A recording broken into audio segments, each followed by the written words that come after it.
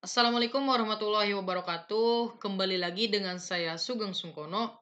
Di video kali ini kita akan ngebahas soal bocoran TPS UTBK 2020. Tentunya pengetahuan kuantitatif. Di sini ada 20 soal ya, sama seperti yang ada di edaran surat LTMPT gitu kan, waktu tanggal 6 April. Nah, teman-teman, sebelum ke pembahasannya, silakan teman-teman klik subscribe dan juga aktifkan loncengnya agar teman-teman tidak ketinggalan nih video terbaru dari saya. Saya kasih waktu 5 detik dimulai dari sekarang.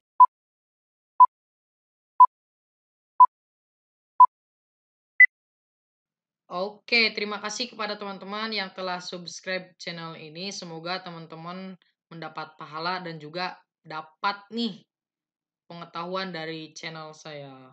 Oke, langsung saja kita ke nomor satu.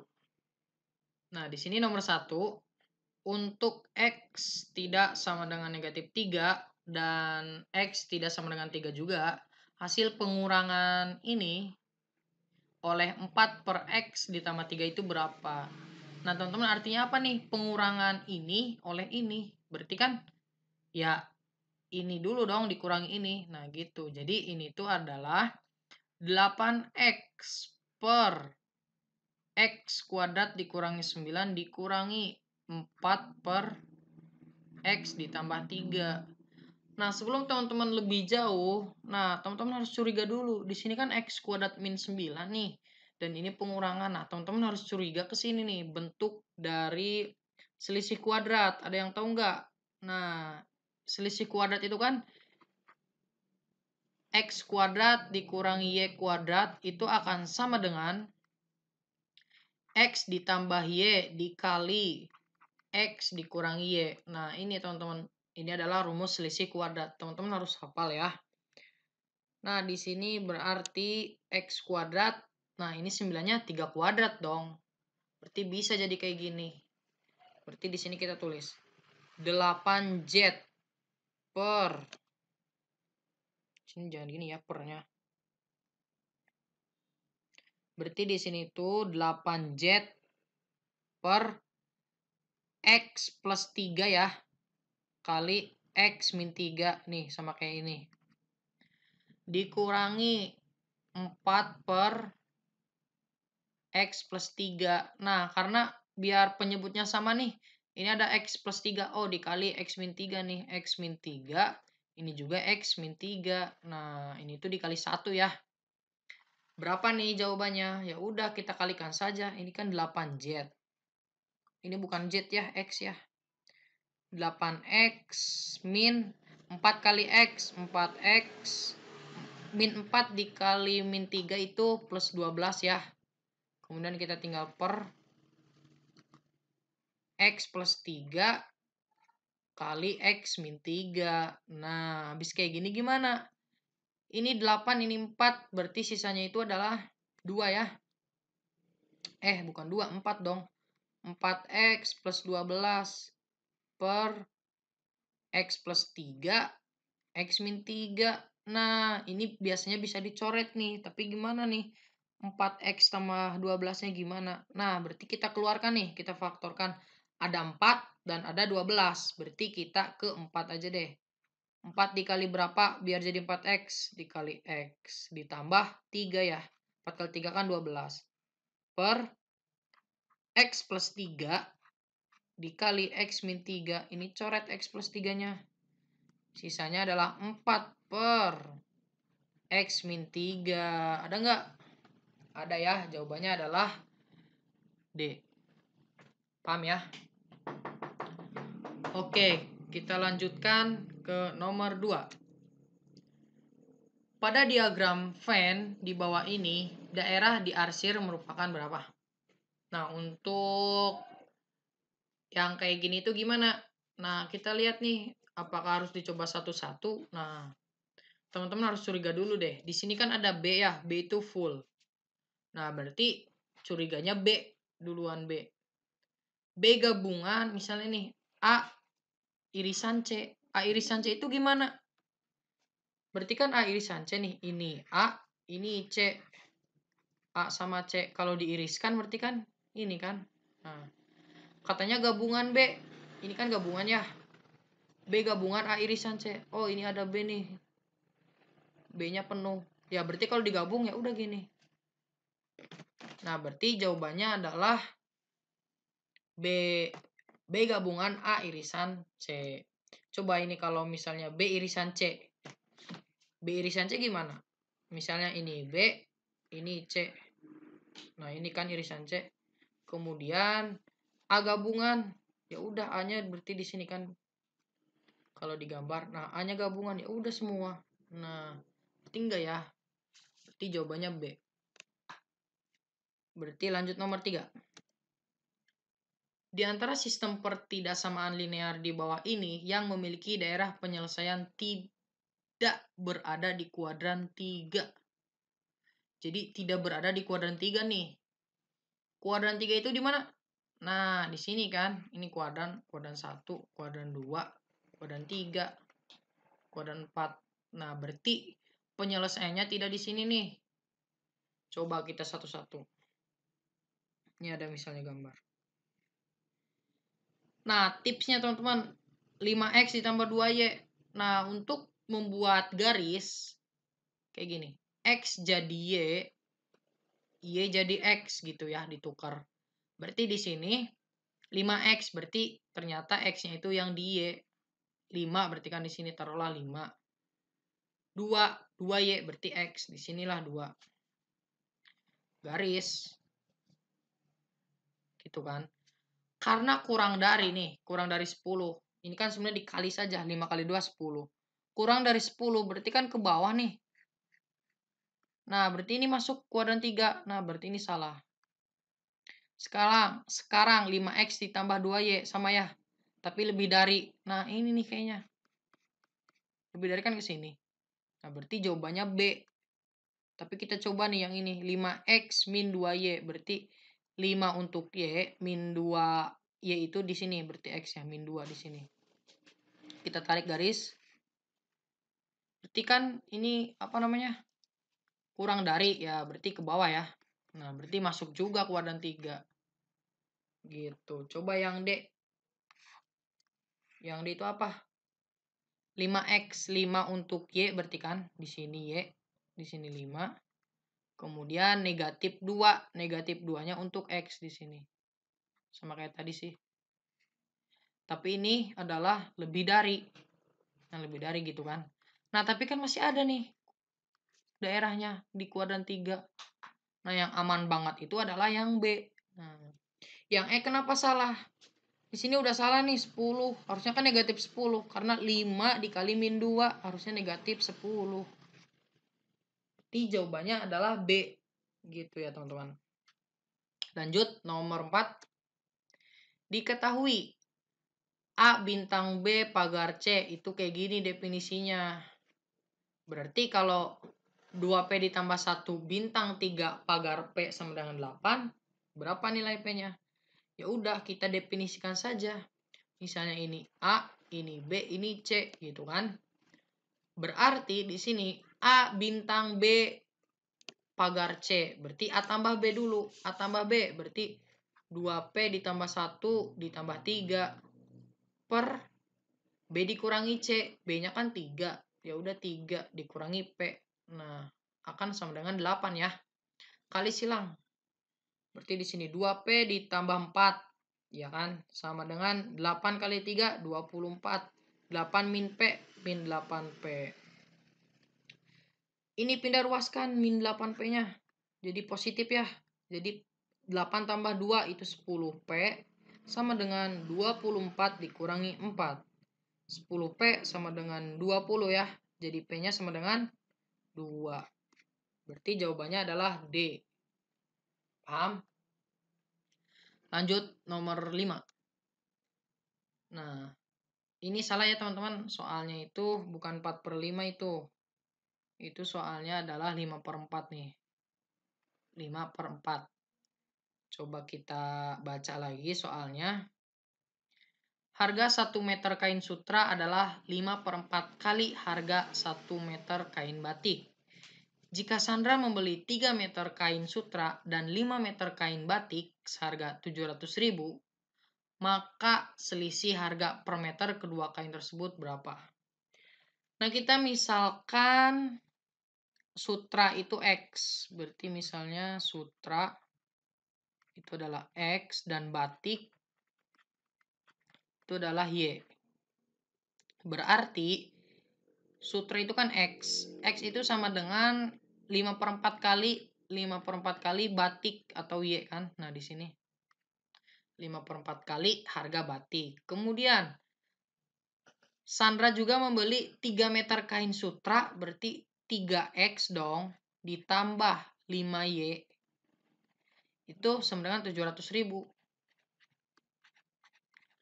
Nah, teman-teman jangan apa ya, jangan disamakan. Maksudnya kita eliminasi gitu kan. Nah, ini kita substitusi aja. Coba ini kan bisa kali silang nih, jadi 4X itu sama dengan 5Y, iya enggak? Nah, teman-teman lihat apa yang samanya? 5Y dong, sama ini. 5Y sama dengan 5Y, 5Y ganti jadi 4X. Jadi 3X ditambah 4X sama dengan 700 ribu. Sehingga 3 tambah 4 itu 7X sama dengan 700 ribu. Menghasilkan X-nya adalah 100 ribu. Nah, ketika X-nya 100 ribu, maka Y-nya berapa? Nah, kita lihat di sini. X itu kan berapa? X itu sama dengan 5 per 4 Y. Jadi Y itu adalah 4 per 5 ya. 4 per 5 X. Karena X-nya adalah 100 ribu. Sama dengan Y. Berarti kita coret 5-nya. Jadi di sini adalah 20. 20 kali 4. 80 ya. Jadi 80 ribu. Nah, yang ditanyakannya apa? Selisih ya. Berarti 100 dikurangi 80 adalah 20 ribu. Berarti jawabannya adalah C. Paham ya? Lanjut nomor 6. Nah, luas daerah yang diarsir pada gambar di bawah ini. Nah, ini bingung nggak? Kalau teman-teman bingung, gini, sebenarnya ini kan ini setengah lingkaran yang kecil. Tapi kan sebenarnya ini bisa juga kan ke sini. Yang ini tuh ditukar ke sini. Ya nggak? Nah, berarti otomatis bahwa luas yang diarsir itu adalah setengah lingkaran yang besar. Nah, luas lingkaran itu apa? Luas lingkaran itu kan PR kuadrat ya. Ya nggak? Nah, berarti kalau setengahnya ya udah. Setengah PR kuadrat. Di mana ini lingkaran yang besar ya. Jari-jarinya berapa? 6 tambah 4, 10. Berarti kan setengah pi 10 kuadrat yaitu 100 ya. 100 bagi 2 berapa? 50 50 pi. Jadi jawabannya adalah B.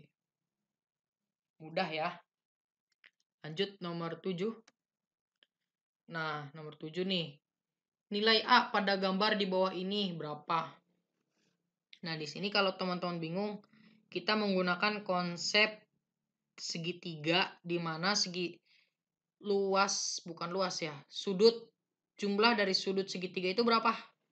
180 kita dapat nih x derajat ditambah y derajat yang kecil nih ditambah 110 itu sama dengan 180 ya enggak ini yang kecil. Sekarang yang besar yang besar kan ini sama ini sama ini kan. Nah berarti di sini juga berarti X derajat ditambah Y derajat ditambah X derajat ditambah Y derajat ya enggak ditambah A derajat sama dengan 180 juga dong. Nah karena di sini X-nya ada 2 Y-nya ada 2 berarti 2X ditambah 2Y dong.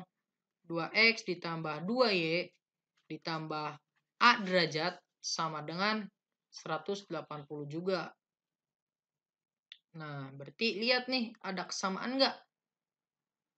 Antara ini dengan ini. Nah, lihat, ini dua nih. Berarti sebenarnya ini kita kali dua deh. Jadi berapa? 2X ditambah 2Y ditambah 11 kali 2, 22 ya. 220 sama dengan berapa nih? 360 derajat. Nah, berarti kalau teman-teman tahu, ini kan sama nih. Sama kayak ini. Nah, berarti gimana kalau ini sama? Coba kita misal ini kita pindah ruaskan nih ke sini. Berarti 2X ditambah 2Y sama dengan 360 dikurangi 220 berapa? Coba berapa? Berarti 140 ya. Nah, berarti 2X ditambah 2Y itu 140. Substitusi ke sini. Berarti didapat nih 140 ditambah A derajat sama dengan 180. Jadi A derajat itu sama dengan 180 dikurangi 140. Yang hasilnya adalah 40. Ada nggak? Ada dong. Jawabannya adalah D. Paham ya? Teman-teman lihat kesamaannya. Lanjut nomor 8. Nah, nomor 8 nih. Ada lima orang dalam ruangan yang belum saling mengenal. Mereka saling berkenalan dengan cara berjabat tangan sekali dengan setiap orang. Banyak jabat tangan yang akan terjadi sebanyak berapa? Nah, ini teman-teman menggunakan permutasi atau kombinasi. Coba. Ya, benar kombinasi ya. Kenapa kombinasi? Karena dia itu ya tidak memperhatikan urutan gitu kan. Coba nih, kalau permutasi itu A dengan B dengan B A itu beda. Nah, ini tuh beda ya. Kata permutasi itu beda. Karena ya urutan mempengaruhi gitu. Nah, kalau kata kombinasi A B itu akan sama dengan BA. Nah, ini tuh sama. Kenapa sama? Nah, kita lihat misalnya jabat tangan nih. Si A jabat tangan dengan B. Sekali. Mau lagi nih si B dengan A. Orang sama kan kalau kata kombinasi. Coba lihat. Kalau misalnya kita langsung aja di kehidupan. Dia jabat tangan nih. A dengan B jabat tangan. Masa balik lagi B dengan A? Nggak bisa ya. Karena kan di sini satu kali. Nah, berarti di sini kita menggunakan kombinasi. Berarti kan ada 5 nih. 5 kombinasi berapa? Jabat tangan kan 2. Nah, 5 kombinasi 2. Berarti kan 5 faktorial per 2 faktorial per 5 dikurangi 2, 3 faktorial. Berarti di sini berapa? 5 kali 4 kali 3 faktorial. Jadi di sini 2 kali 1 sama 3 faktorial dicoret. 5 kali 4, 20 bagi 2, 10. Kayak gitu ya. Nah, tapi di sini saya akan beri cara cepat untuk kombinasi ya. Cara cepatnya. Jadi gini ya cara cepatnya misalnya 5 kombinasi 2 itu ya karena ada dua ya, lihat ini dua, ya udah jadi 5 kali 4 doang. Karena kombinasi ya bagi lagi dua. Jadi kan 10. Misalnya 10 kombinasi 3. Ya udah karena ada 3, 10, 9, 8. Ada 3 kan? Tinggal dibagi 3. Faktorial jadi 3 kali 2. Ini coret-coret jadi 4. Ini coret-coret jadi 3. 4 kali 3, 12 kali ini berarti 120. Nah ini kombinasi. Kalau permutasi, kalau permutasi itu misalnya 5 permutasi 2. Ya udah ini kan ada 2. Ya udah 5 sama 4 doang. Berarti 20 gitu. Nggak, nggak dibagi lagi. Kalau kombinasi dibagi lagi. Misalnya tadi 10 kombinasi 3, ya udah. Karena ada 3, 10, 9, 8. Berapa nih? 8 kali 9, 72 kali 10, 720. Nah, itu cara cepatnya ya. Teman-teman semoga bisa. Lanjut nomor 9. Nah, sebuah kotak berisi tiga kelereng putih dan dua kelereng hitam. Dari kotak dari dalam kotak pengembalian dua kelereng berurutan. Nah, berarti ada ya diambil nih, misal ada kotak. Kita kotak aja deh. Di sini kan tiga putih sama dua hitam. Diambil satu-satu kan katanya. Kita lihat peluang mendapatkan sebuah kelereng hitam pada pengembalian pertama. Hitam ya yang pertama dan kelereng putih pada pengembalian kedua berapa? Nah, teman-teman lihat di sini ada kata hubungnya dan berarti dikali nih. Peluang yang pertama sama kedua dikali. Nah, berarti kan di sini ada dua nih. Pertama kita ambil, terus kita ngambil lagi kan. Ini nggak dibalikin lagi ya, karena nggak ada tulisan kotak apa namanya bolanya itu kelerengnya itu dibalikin lagi gak ada. Jadi kita asumsikan ini nggak dikembalikan lagi. Kita lihat di sini. Pertama itu kan mendapatkan sebuah kelereng hitam. Hitam di sini kan dua, ya udah jadi dua kombinasi satu karena diambilnya satu per per berapa? Ini semestanya berapa? 5 ya, berarti 5 kombinasi satu juga. Dikali karena kan dan sekarang lihat kelereng putih ya. Berarti kelereng putih berapa? 3 berarti 3 kombinasi 1 per karena sudah diambil satu kan sisanya 4 berarti 4 kombinasi 1 nah kayak tadi 2 kombinasi 1 karena ada 1 ya udah 2 aja. 5 karena ada 1 ya udah 5 aja. Dikali 3 karena ada 1 3 4 karena ada 1 4 berarti 6 per 20 yaitu berapa? 3 per 10 ya dibagi 2 3 per 10 Berarti jawabannya adalah 4. Nah, di sini kan maksudnya gimana ya? Ini ada salah benar sih. Jadi ada empat pertanyaan pernyataan. Kalau yang benarnya itu kalau A itu adalah 1 2 3 yang benarnya ya. Kalau B itu adalah 1 3 aja. Kalau C itu adalah 2 4 kalau D 4 saja, kalau E itu adalah benar semua. Nah, berarti ini 4 saja ya. Berarti jawabannya adalah D. Ingat-ingat ya, ini ada tipe soal kayak gini. Lanjut nomor 10. Nah, sama kayak tadi tipenya ya. Ingat-ingat. Himpunan titik di bawah ini bukan merupakan grafik fungsi kuadrat. Nah, berapa aja nih? 1, 2, 3, atau 4? Nah, teman-teman harus tahu dulu ya, fungsi kuadrat itu fungsi kuadrat. Nah, gini simpelnya sih. Kalau kita lihat titik, jadi kalau ada apa ya outputnya itu ada yang sama, misalnya satu nih, outputnya itu dapat tiga. Nah, yang lima juga nih dapat tiga. Nah, ini juga yang dinamakan fungsi kuadrat. Jadi misalnya X-nya 1 dapat 3, X-nya 5 dapat 3. Nah, itu kuadrat. Jadi lihat nih yang sama, yang Y-nya yang sama yang mana? Yang nomor satu dulu deh kita cek. Nah, ini nih 1,0 sama 3,0 sama 5,0 ya. Nah, berarti ini udah pasti fungsi kuadrat. Kemudian di sini ada lagi nggak? Yang Y-nya sama 1, 2, 3, 4. Nah, nggak ada yang sama nih. Berarti ini bukan. Ini adalah fungsi linear ya. Nantinya kayak gini. Nah, lihat nomor 3. 1 negatif 3. Nah, ini ada negatif 3 sama negatif 3. Terus 0 sama 0. Jadi 2 dapat 0, 4 juga dapat 0 ya. Nah, berarti ini fungsi kuadrat ya.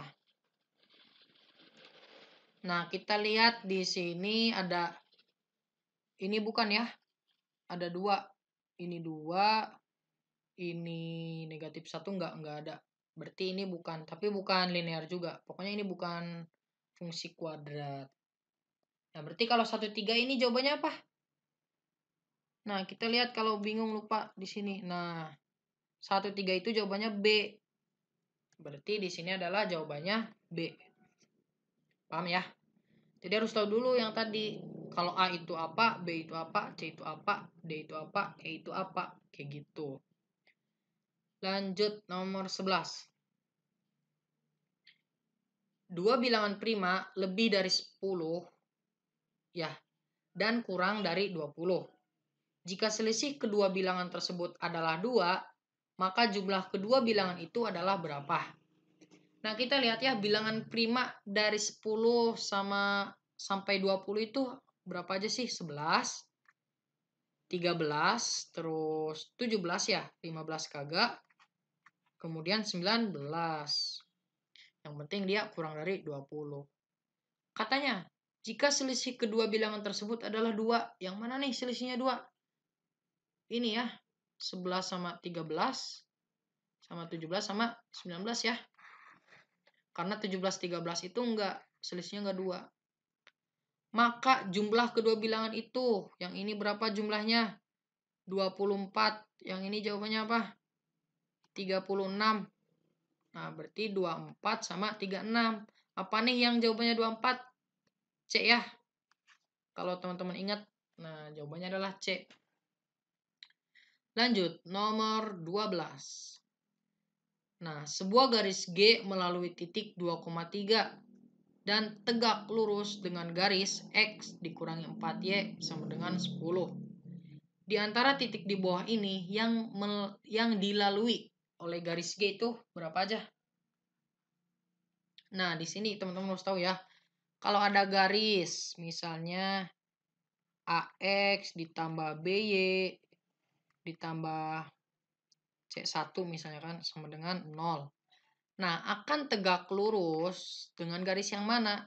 Dengan garis BX dikurangi AY tambah C2 misalnya kan. Nah, kayak gini ya. Jadi, ininya jadi negatif dan ininya ditukar gitu. Jadi kita lihat di sini kan ada X min 4Y sama dengan 10. Nah, berarti dia ini akan tegak lurus dengan yang mana? Ya udah, akan tegak lurus dengan yang 4X ditambah ya, karena kan tadinya ini jadi ditambah 1Y. Nah, berarti Y aja. Sama dengan 10. Lihat titiknya adalah 2 sama 3. Ya udah masukin 2, masukin 3. 4 kali 2, 8. Tambah 3 berapa nih? Berarti 11 ya. Nah, berarti 11 nih. Kita juga substitusikan nih yang titik-titik di soal ini ke titik ini. Apakah hasilnya 11? Kalau 11 dia melalui. Masukin 1. Masukin negatif 1 berarti 4 negatif 1 ditambah 15. 11 gak? 11 ya. Nah, berarti ini memenuhi. Sekarang 17. 1 kali 4, 4. 4 tambah 7, 11 juga. Memenuhi. Sekarang yang 3. 3 kali 4, 12. 3 kali 4, 12. Dikurangi 1, 11 ya. Berarti 11 juga memenuhi. 4 sama 4, enggak ya? 16 ditambah 4, 20. Berarti enggak. Berarti jawabannya 1, 2, 3. Apa tuh? A ya. Jadi jawabannya adalah A. Oke, lanjut nomor 13. Nah, ini ada bentuk yang lain lagi, teman-teman. A, B, C, D, E bilangan bulat positif yang kurang dari 6. Dengan A lebih dari B, lebih dari C, dan sampai dengan lebih dari E. Manakah hubungan yang benar antara kuantitas P dan Q berdasarkan informasi yang diberikan? Nah, untuk tipe soal PK ini teman-teman jangan kebingungan ya. Kita kerjain saja. Nanti kita dapat nih hubungannya P lebih besar atau Q yang lebih besar. Atau bahkan informasi itu tidak memenuhi. Bisa saja. Kita pelan-pelan dari yang pertama itu adalah bilangan positif kurang dari 6. Berarti apa aja nih? Tapi bilangan bulat loh. Berarti bisa negatif ya, negatif satu. Nah, tapi kita menggunakan yang positif saja nih. Oh iya, karena kan di sini juga positif. Nol masuk gak? Masuk ya. Tapi kita dari satu deh. Satu, dua, tiga, empat, lima. Ya nggak? Satu, dua, tiga, empat, lima. A, B, C, D, E. Nah, katanya A lebih besar dari B. Berarti A-nya dari sini. Ini A, ini B, ini C, ini D, ini E. Nah, udah ya, udah kayak gini. Kita lihat manakah hubungan yang benar. P itu adalah A ditambah E dibagi 2. A ditambah E. Ini A-nya 5, ditambah E-nya 1. Berarti 5 tambah 1 dibagi 2. Berapa nih? 6 per 2. 3 ya. 3 itu, oh ya 3. Dan Q-nya adalah C. C itu apa? 3. Sama ya? Nah, kemungkinan PQ itu sama. Kenapa saya bilang kemungkinan? Karena lihat, sebenarnya nggak dari satu nih, dari nol juga bisa. yang penting dia positif kan. Coba 0 1 2 3 4 ya. Sama 4 tambah 0 4 tambah 0 dibagi 2 2 ya. C. C nya ini. Ini kan A ini B ini C. C nya 2 berarti sama. Berarti tetap ya P sama dengan Q ini hanya ngebuktiin saja berarti jawabannya adalah P sama dengan Q lanjut nomor 14 nah sama kayak tadi P dan Q rata-rata dan median dari empat bilangan asli tidak lebih dari 10 adalah 7. Manakah hubungan yang benar antara kuantitas P dan Q berdasarkan informasi yang diberikan? Dengan P itu adalah hasil kali bilangan terkecil dan terbesar, Q-nya 50. Kita bandingkan. Gimana caranya? Nah, berarti di sini kita nih ada ada 4 bilangan asli, tidak lebih dari 10. Yang kalau rata-ratanya itu adalah sama dengan median yaitu 7. Gimana nih caranya? Median itu kan data tengah ya. Berarti kalau misalnya tengah-tengahnya 7 kalau di sininya 6 bisa nggak? 6, 7, 8, 9 misalnya. Nah ini kan enggak, enggak ini kan, enggak 7 medianya. Nah gimana caranya biar medianya 7? Coba kita otak atik. Berarti kita menggunakan 7-nya 2. Ya enggak? Coba 7 tambah 7 bagi 2, 7 juga. Nah, ini nih kuncinya. Yang di kanan ininya boleh bebas. Mau ini 8, mau ini 6. Coba kita buktikan. Atau di sini 5, 7, 7, 8 kan? Sama aja kan? Karena nggak di sini nggak ada tulisan berurutan kan?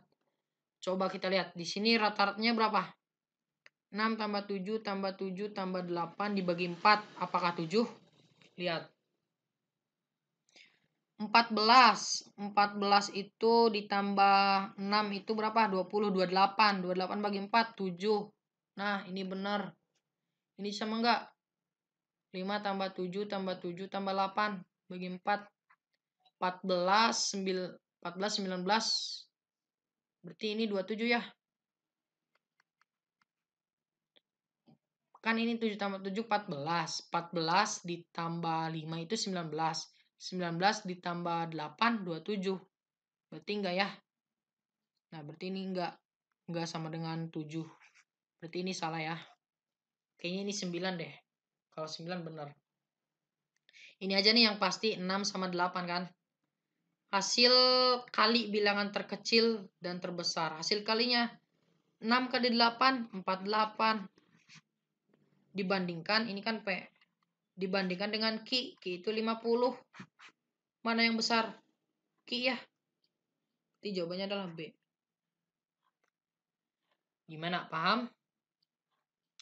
Oke, lanjut nomor 15. Sama kayak tadi, P dan Ki.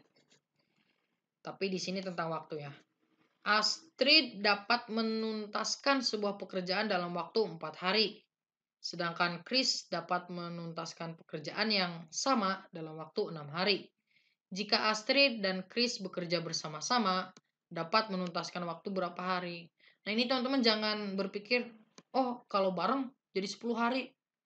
Nah ini nggak logis ya. Logikanya kalau bareng-bareng ya tambah sedikit kan harinya.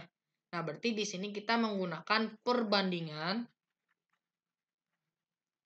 Perbandingan apa? perbandingan terbalik. Nah, perbandingan terbaliknya gimana? Ya udah, ini tuh yang tadinya 4 tambah 6 itu jadi gini, 1 per 4 ditambah 1 per 6 gitu. Sama dengan 1 per T juga diganti T-nya. Atau di sini X lah, nggak apa-apa. Coba kita kali silang. 4 kali 6, 24. Ini 6 tambah 4 berapa? 10. Jadi 1 per T. Jadi T-nya itu atau X lah di sini kan. X-nya itu adalah berapa nih? 24 dibagi 10 yang menghasilkan 2,4. X-nya adalah 2,4. Kita bandingkan. Oh, lebih besar P. A jawabannya. Mudah ya.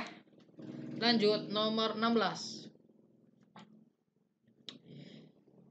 Jerome, Kenan, dan Leita merupakan tiga orang anak-anak memiliki usia yang berbeda. Jumlah usia Jerome adalah Jerome dan Kenan 20. Jumlah usia Jerome dan Leita adalah 21. Sedangkan jumlah usia Kenan dan Leita adalah 23. Manakah hubungan berikut? Nah, kita satu-satu ya. Ini enak. Huruf awalnya itu beda-beda. Jadi J ditambah K itu sama dengan 20. Kemudian J ditambah L itu sama dengan 21. Terakhir itu K ditambah L itu sama dengan 23. Ditanyakannya adalah L. Coba gimana biar dapat L? Nah, ini ya teman-teman. Ini misalnya bisa jadi ini nih. J itu sama dengan 20 dikurangi K ya. Nah, berarti J di sini itu bisa dirubah jadi 20 dikurangi K. Kita di sini. 20 dikurangi K ditambah L sama dengan 21. Jadi di sini min K tambah L sama dengan 21 dikurangi 20 berapa? 1. Kita bandingkan dengan ini. Min K plus L tambah dengan 1. Ini ya, yang ini. Ini gimana? Karena kita cari L, ya udah kita hapus nih yang K. Gimana caranya? Berarti di jumlah. Ya dong. K ditambah negatif K itu habis. L tambah L 2L. 23 tambah 1 24. Jadi L sama dengan 24 dibagi 2 12. L-nya itu adalah 12. Apa jadinya? P kurang dari Q. Atau Q lebih besar dari P. Jadi jawabannya adalah B. Paham ya? Kita lanjutkan nomor 17. Nah, lo, ini itu bentuk dari kita dituntut untuk menjawab apakah pernyataan satu itu cukup atau pernyataan dua itu cukup untuk menjawab soal atau bahkan dua-duanya tidak cukup atau bahkan ada lagi dua-duanya itu harus saling berhubungan. Kita lihat, saya akan kasih triknya nih. Soalnya adalah M di M dan N merupakan bilangan bulat positif. Lihat ya, positif. Apakah M dikurangi N kelipatan 5?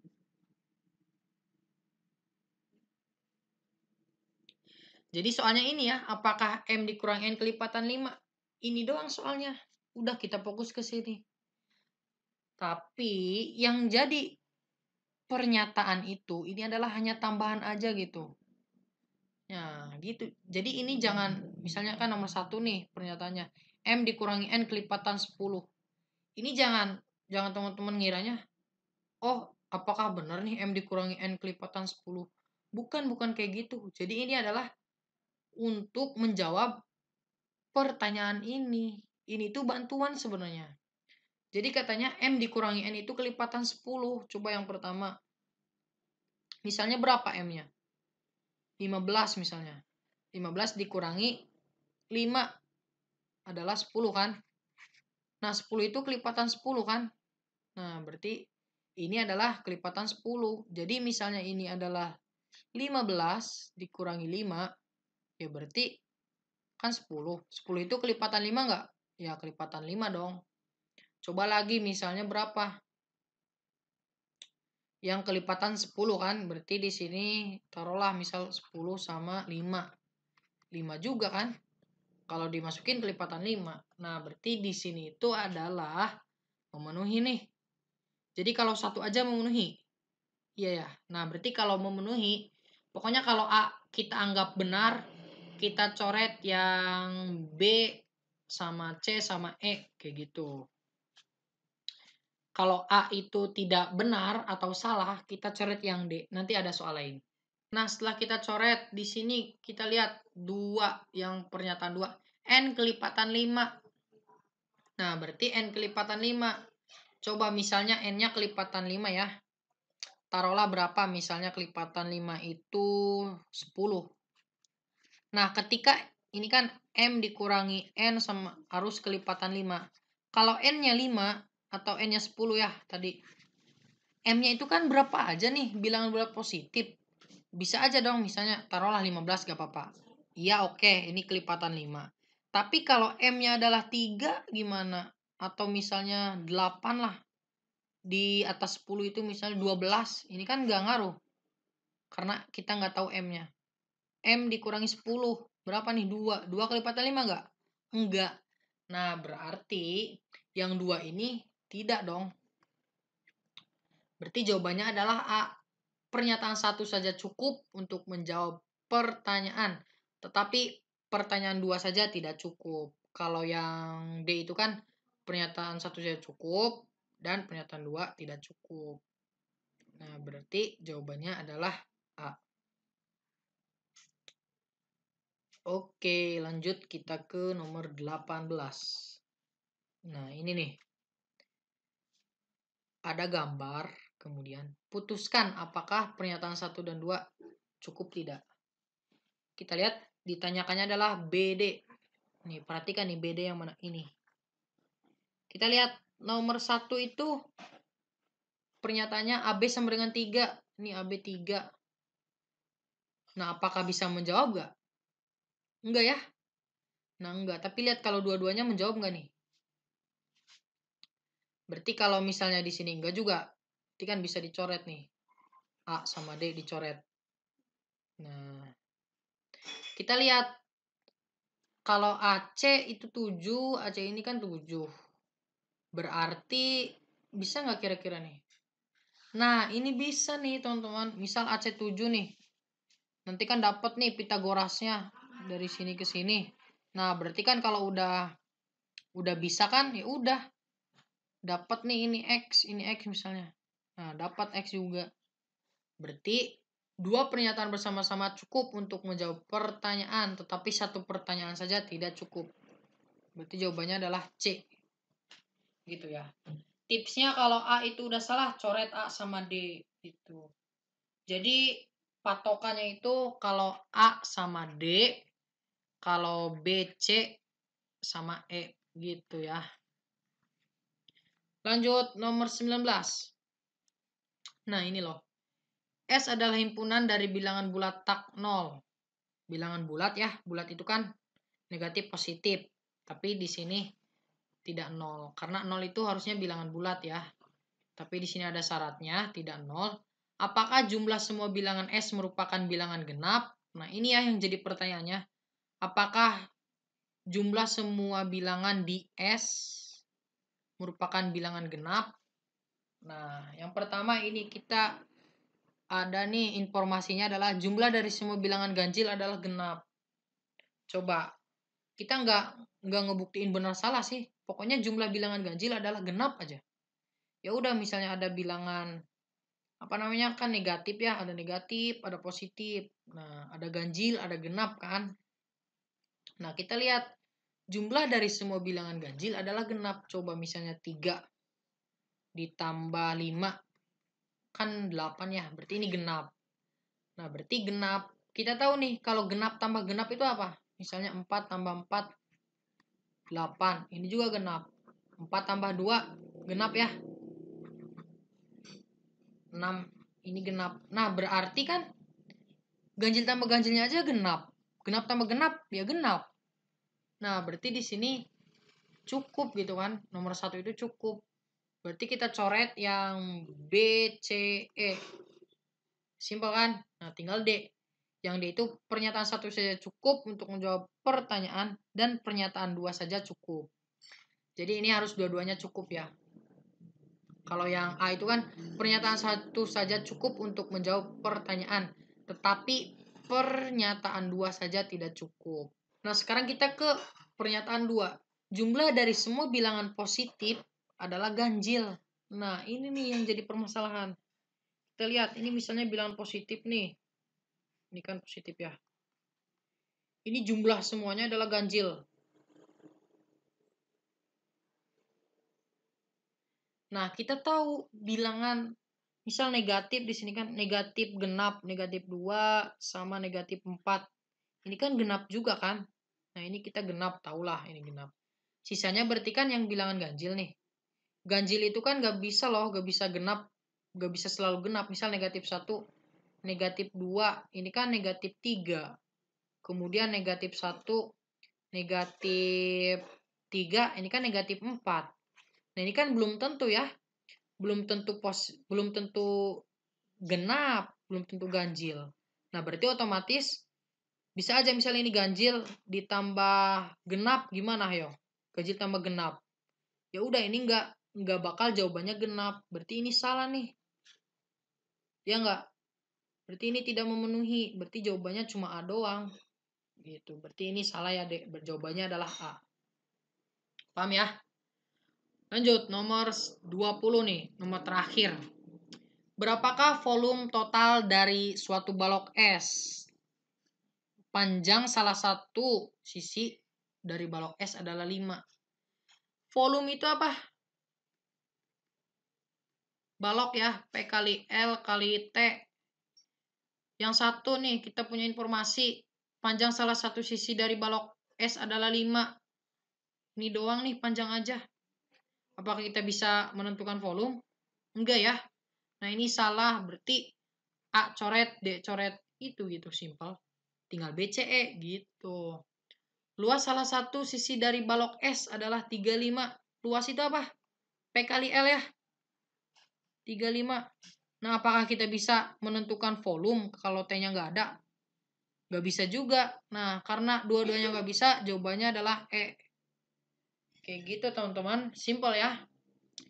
Nah, oke. Okay untuk pembahasan 20 soal ini dicukupkan dulu sekian. Jika teman-teman suka dengan video seperti ini silahkan share ke teman-teman yang lain gitu kan. Share juga ke kerabat dari teman-teman, ke pacar teman-teman gitulah. Boleh gak apa-apa. Saya sangat senang. Baik untuk untuk itu saya cukupkan dulu. Terima kasih atas segala perhatian. Wassalamualaikum warahmatullahi wabarakatuh. Salam matematika.